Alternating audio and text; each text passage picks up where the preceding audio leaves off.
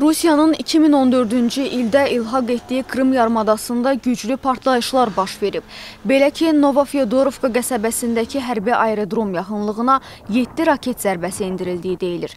Məlumata görə Rusiyanın döyüş təyyarələri oradakı aviabazadan Xerson, Nikolayev və Zaporojye vilayətlərini bombalayıb. Ukrayna ordusunun zərbələri nəticəsində hərbi aerodromdakı silah deposunda baş vermiş yanğın ətraf ərazilərdən də müşahidə olunub. Hadisə yerinə çoxlu sayda təcili tibbi yardım briqadası cəlb edilib.